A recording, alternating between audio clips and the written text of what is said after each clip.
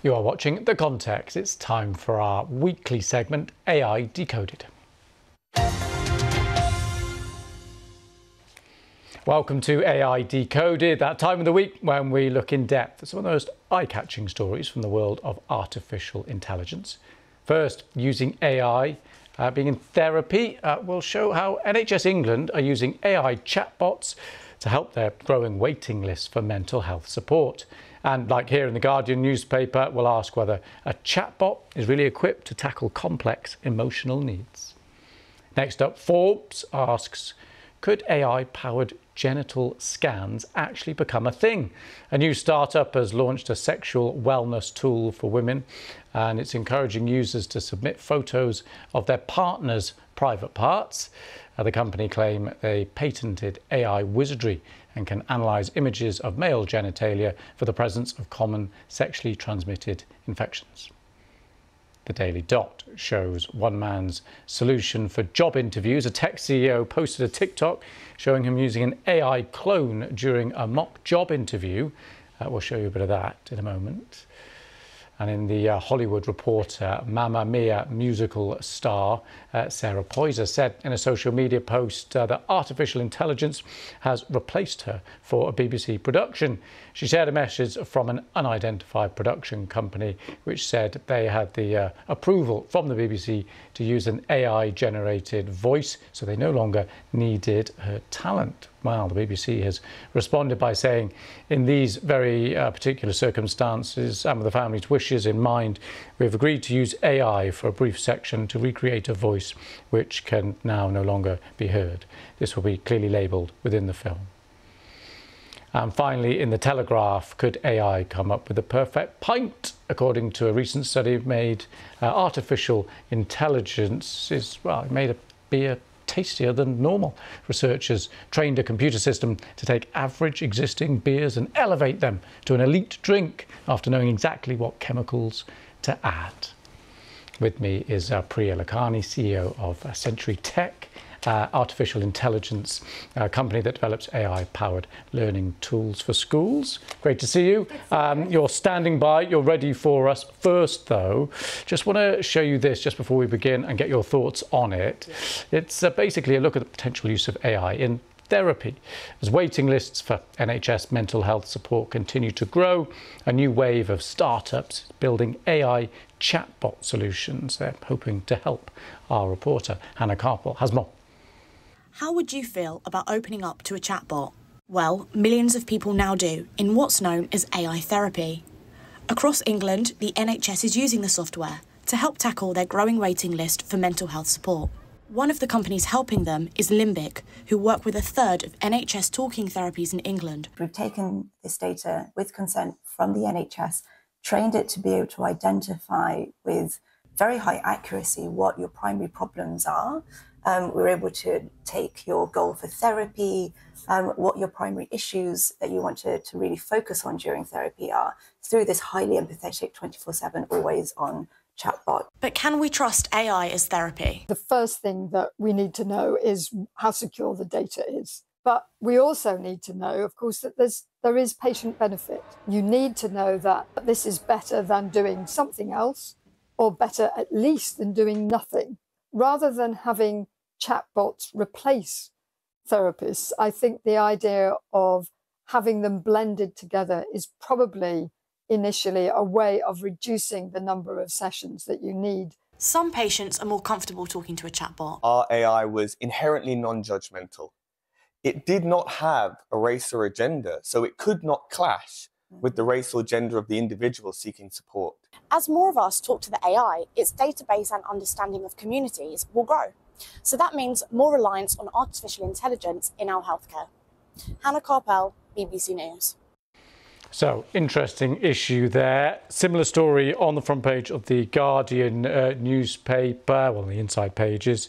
Uh, he checks in on me more than my friends and family. It's a quote there. Can AI therapists do better than the real thing?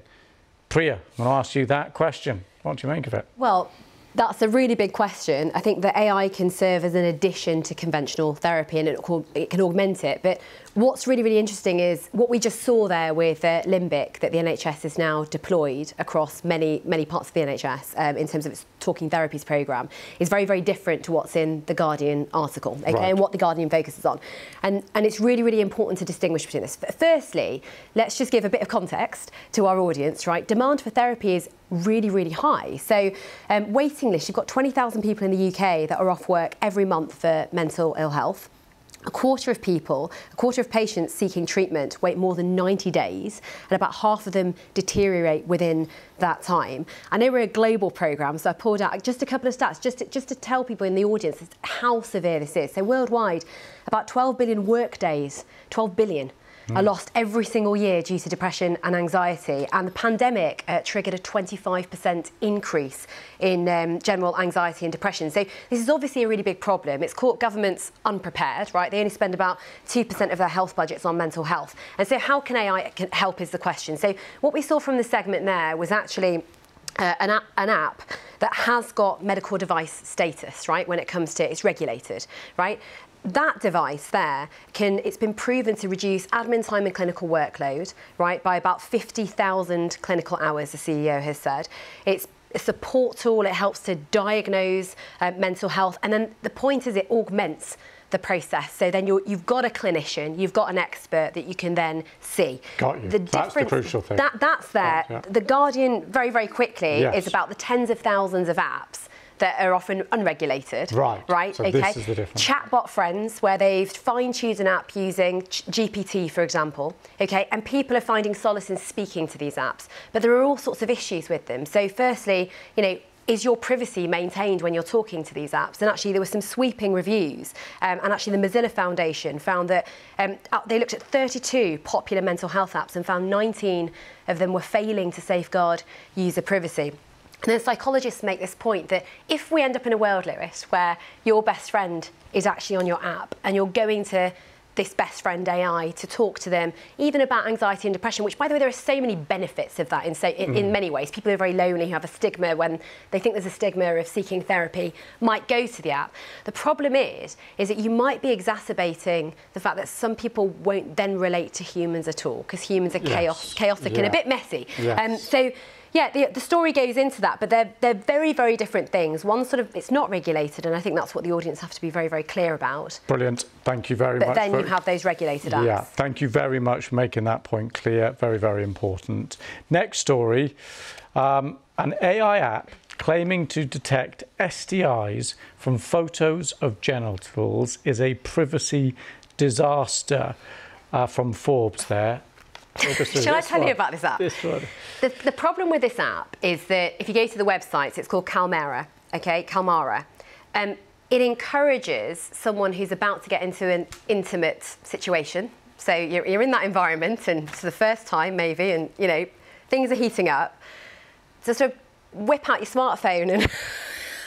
so, Glad you said smartphone. And, uh, whatever, and take a picture of. Um, male genitalia and um, to see if there's an STI. Now, I think the problem is there, right? STIs are a massive problem. One million pregnant women estimated to be infected with syphilis in 2016. There were 350,000 adverse um, birth outcomes. There's all sorts of problems with HPV. So this is clearly a problem that needs to be solved. AI can help. So they use essentially computer vision techniques, and it's a an AI model called segmentation, where you look at, for example, skin, and you try and find in the pixels of a digital image an anomaly right? So right, if you're looking for yeah. a skin lesion, okay? And so the AI technology can absolutely help, but the problem is, is that firstly, are people posting images into this app where there might be security and privacy concerns.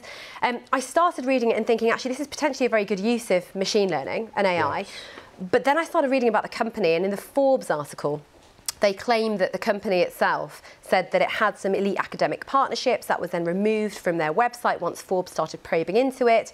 The the big universities have claimed that they don't have a partnership with the company. So you can start to see now where apps are out there, and unless there's a lot of transparency about how they're working, where the data is going, is there independent validation of the data sets and then the model, the AI model being performance and all of yes. these things, it casts doubt upon the AI app's claims. So for, for the okay. audience, the clear thing here is before submitting certain photographs or any photographs, I would say, uh, into these apps, um, you need privacy, you need to you privacy, need to private yeah. parts privacy nightmare. Um, you right. know, yeah. Okay. I mean, you, you, know the research I did for that, that piece it? just there. I read I read the paper and saw all the images. So okay, all right. I'm not going to. I'm not going to ask you any more let's about that. Uh, let's go to the Daily Dot. And actually, just before you talk about it, let's just take a look at this video.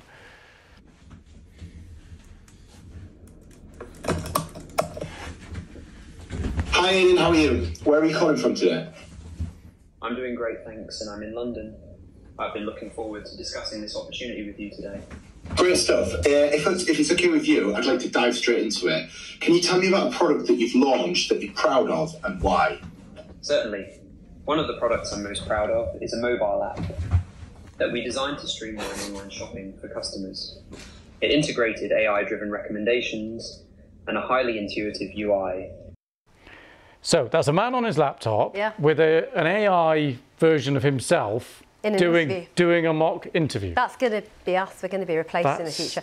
Um, that's so, incredible. Yeah, the app claims that 80% of people who use the app are hired. Um, it's really interesting. Uh, lots of people use ChatGPT to help write their resumes and cover letters. Yeah. Some would say that's reasonably smart. About 8, 11% are denied the job when the employer finds out they're using it. I think in some ways, look, Lewis, it can level the playing field for people who may um, struggle with writing applications. I mean, the cloning of the interview, I've got a real problem with that because you can misrepresent. The AI clone could misrepresent your capabilities, yes. um, your personality, yes. um, your sort of behavioural skill set. Lots of companies have cultural interviews, we do, to ensure yes. that culturally you fit, whereas if it's a clone, you know, you're not going to get that from the person. So you can see all sorts of problems with that. But, but I thought that was great that you had the, the video there because that's where this is potentially going. Amazing. Uh, and a, a familiar theme coming up next. AI replaces Mamma Mia musical star uh, for a BBC production. What's going on here? Yeah, look, I'm really glad actually you added a piece to what was in this story where the BBC have, have, have said in a statement that they're actually trying to replace a voice actually that no longer exists. And I think that context is really important. But in the story, it's really talking about the significant threat to employment in this sector, for example, voiceovers. Now, SAG-AFTRA had a bit of an update a few days ago. Mm. Um, so they negotiated and ratified actually the, the agreement when it comes to voiceover actors. And with voiceover actors, they've included, for example, if you're going to say um, that, uh, that the voiceover, you know, that it's a, a voice actor, it has to be a human being. People will be remunerated if they're the voiceover and it's translated into a different ang- into a different language. And the article points to actually in the UK, maybe we should be copying copying our friends overseas, and there ought right. to be some sort of union agreement potentially um, for artists um, to protect them because clearly it lowers cost of production. There's less recording required, so there are going to be production companies in the future that aren't in this context using using AI to replace a voice that no longer exists, yes. but it's just going to do it because it's simply cheaper. Fascinating. Right, something uh, a bit lighter to finish.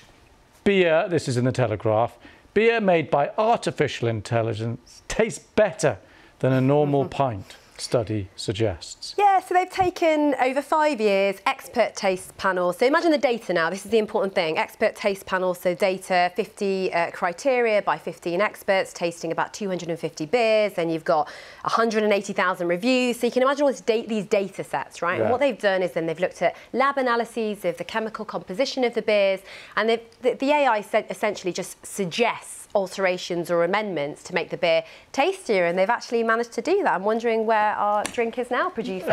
I, I, was thinking we would do a live tasting. Yeah, I mean, what's going on? Some uh, samples. so, Santo, to those uh, who are going to enjoy this new beer and you know it's a new technology and, and why not use it although some people will always just want that fully 100% human crafted beer. Wow, no, no, no, this is definitely AI I can get on board with. uh, definitely fan of that. Right, we are out of time. Priya, brilliant Thanks. stuff. Thank you so much for that. And that's it. We are out of time. We'll do this again, same time next week.